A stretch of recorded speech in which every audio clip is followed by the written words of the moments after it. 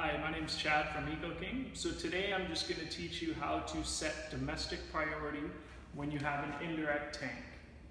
So you will have an EcoKing H model boiler and you want to heat up the tank.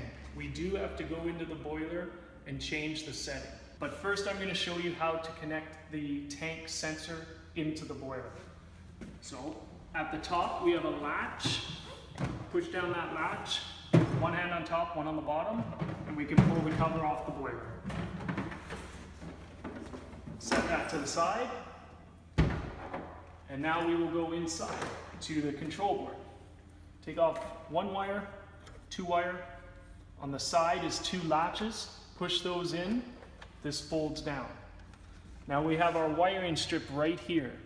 And if I take this off, you'll see our tank sensor, which is a 10,000 ohm resistor or sensor, is connected onto the two far right ports. If you zoom in right there, you will see it says tank. That is where you wire in the sensor. So let's put that back on, and I will show you how to set the priority in the programming.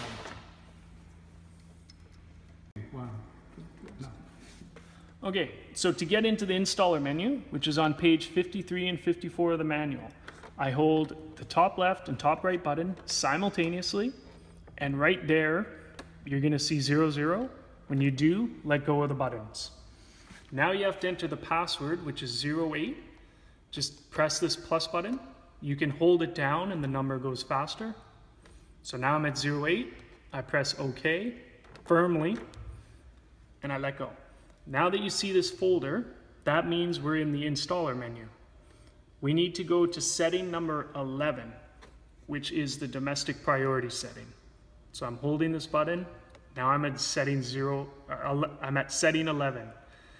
Zero zero means that the H model boiler is just in heating mode. If I change it to zero two using this comfort button, which I'll do right now, when I change it and press OK, the boiler will immediately fire up to heat the indirect storage tank. So here we go.